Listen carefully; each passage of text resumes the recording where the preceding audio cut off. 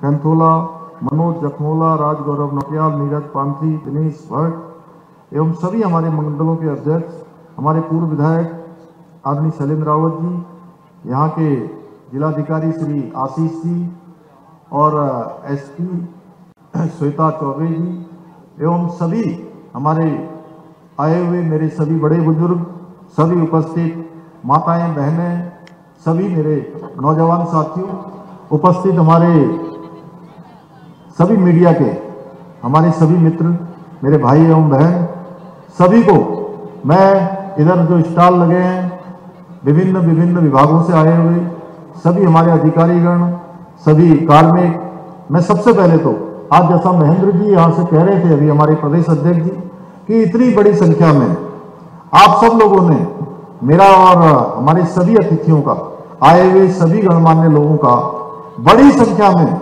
सड़कों पर आकर आशीर्वाद दिया, आपने अपना समर्थन दिया, हमारा उत्साहवर्धन किया, हमारा अभिनंदन किया। मैं भी आपका दोनों हाथ जोड़कर, सिर झुकाकर आप सबको प्रणाम करता हूँ, आप सबको नमन करता हूँ, आप सबका अभिनंदन करता हूँ।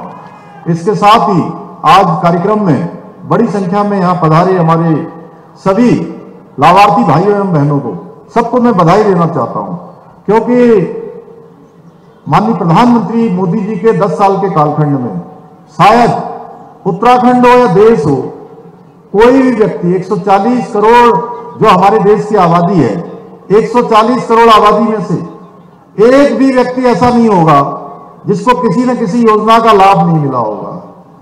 जो गरीब होगा, उसको गरीब कल्याण की योजनाओं का लाभ मिला होगा। अगर कोई अमीर होगा तो उसको दूसरे प्रकार की जो सेवाएँ हैं, चाहे रेल सेवा हो चाहे हवाई सेवा हो, चाहे वो सड़क की सेवा हो, चाहे वो सुरक्षा की गारंटी हो, वो सारी की सारी चीज़ें या जो हमारे प्रवासी भारतीय जो विदेशों में रहते हैं, उनको भी इन 10 सालों में लाभार्थी होने का सम्मान प्राप्त हुआ है कि वो विदेशों में भी उनका मान सम्मान बढ़ा है, उनकी भी पहचान बढ़ी है, उनका भी सीना गर्व से चौड़ा हुआ है कि हम भारत के रहने वाले हैं। हम भारतवासी हैं। इन 10 सालों के कालखंड में मोदी जी ने ये सब काम हमको दिए हैं। मैं सिद्धवली बाबा से प्रार्थना करता हूँ कि कोटद्वार सहित पूरे उत्तराखंड में उनका आशीर्वाद हमारे ऊपर बना रहे। हर प्रकार की विपदा, आपदा वो हमारे लिए सामान्य हो जाए। और आने के बाद जिस प्रकार से अभी रितु जी ने यहाँ से बताया कि बहुत सारा यहाँ नुकसान हुआ था आपदा में। मैं भी आया था उस दौरान बाबा सिद्धबली की कृपा से।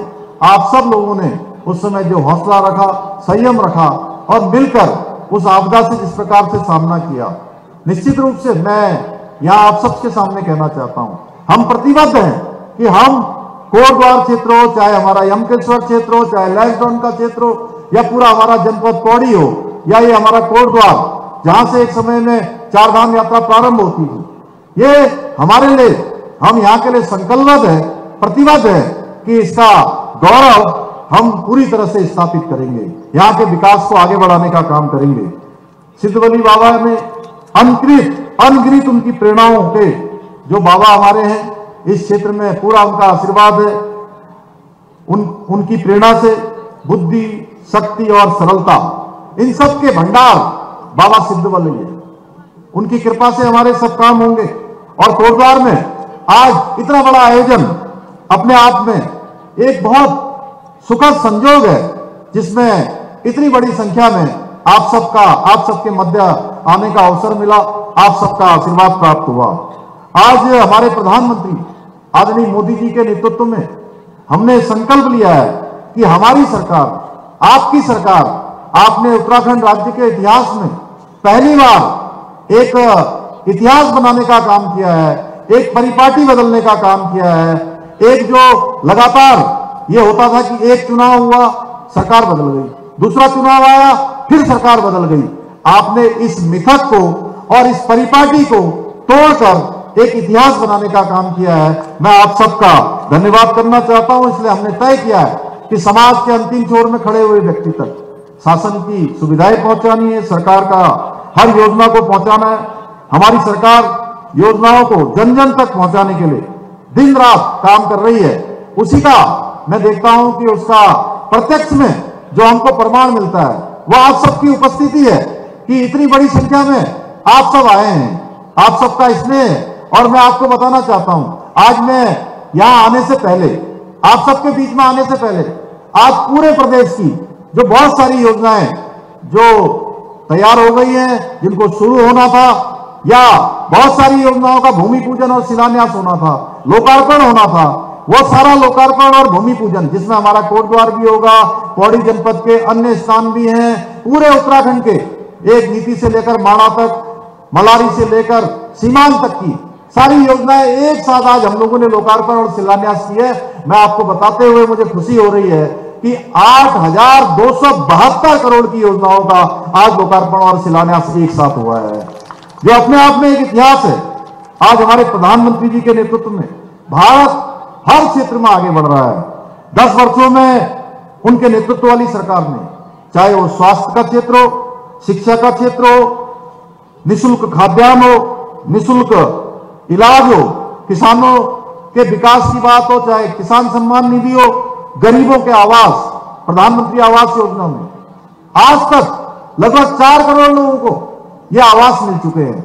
और पहले के सालों की अगर हम तुलना करेंगे तो 10 प्रतिशत भी आज़ादी के बाद से लेकर 60 सालों तक जिन्होंने इस देश के अंदर शासन किया 10 प्रतिशत भी वो गरीबों को चार करोड़ के मुकाबले मकान नहीं दे पाए। भाइयों, बहनों, मोदी जी की सरकार में जो काम हुए हैं, उसमें चाहे वो सेना का आधुनिकरण हो, सीमाओं की सुरक्षा हो, प्रत्येक नागरिक को वैक्सीन पहुँचाने से लेकर हथियार और मोबाइल उत्पादन हर क्षेत्र में अभूतपूर्व कार्य हुए हैं। जहाँ हम हथियारों का केवल आयात करते थे। आज हम हथियारों के निर्यातक देश के रूप में भी अपना स्थान बना रहे हैं, अपनी पहचान बना रहे हैं। आज जब प्रधानमंत्री जी जनता के बीच में आते हैं तो अनेक अनेक ऐसी बातें हैं जो वो पहले प्रधानमंत्री के रूप में उन्होंने देश की जनता को समर्पित किया है। अब मैं गरीब कल्याण अन्न योजना की बात करूँ, जिसमें 2020 से मार्च से ये योजना प्रारंभ हुई और आज भी देश के 80 करोड़ लोगों को लगातार खाद्यान्न देने का काम हो रहा है। लगातार पाँच किलो प्रति यूनिट के हिसाब से अन्न उपलब्ध करवाने का काम हो रहा है। ये हमारे प्रधानमंत्री जी की दिव्य दृष्टि थी कि उन्होंने देश के अंदर जन धन के खाते खुलवाए और इन जनधन के खातों में जो लगभग 50 करोड़ थे, गरीबों के लिए खोले गए, जिनका प्रयोग आज लाभार्थियों के खातों में सीधे डीबीटी से जो सहायता भेजी जाती है, उसमें एक परसेंट की भी कहीं कटौती नहीं होती है। अगर सौ रुपया भेजा जाता है तो सौ का सौ रुपया उनके खातों में पहुँचता है। महिला सशक्तिकरण के क्षेत्र में इतने काम हुए इसीलिए मैं देखता हूँ पूरे उत्तराखंड के अंदर। मैं प्रत्येक जनपद में गया, मैं अपनी माताओं बहनों को नमन करना चाहता हूँ कि बड़ी संख्या में उन्होंने आकर हमारे प्रधानमंत्री जी को आशीर्वाद दिया है। आज हर क्षेत्र में, आज हमारी मातृशक्ति आगे बढ़ रही है। माननीय प्रधानमंत्री जी की प्राथमिकताओं में हमेशा हमारा महिला उत्थान रहा है। उसी का कारण है कि आज देश के अंदर इतनी बड़ी संख्या में इज़्ज़त घर बनाए गए।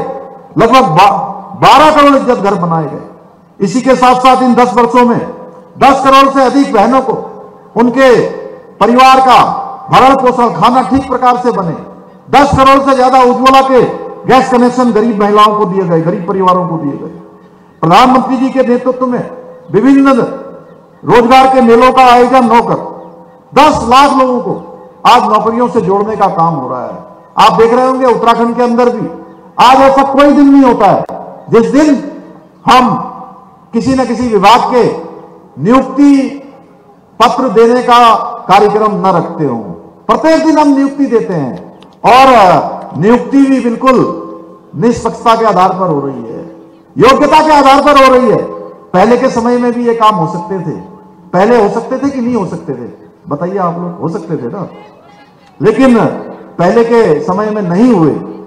पहले के समय में जो देश के अंदर सरकारें होती थी, उन्होंने केवल एक परिवार की चिंता की।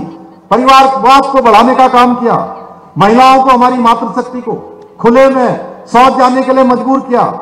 महिलाओं को चूल्हे के धुएँ में खाना बीमार खाना बनाने के लिए उनको बीमार होने पर मजबूर किया। क्यों इलाज के अभाव में?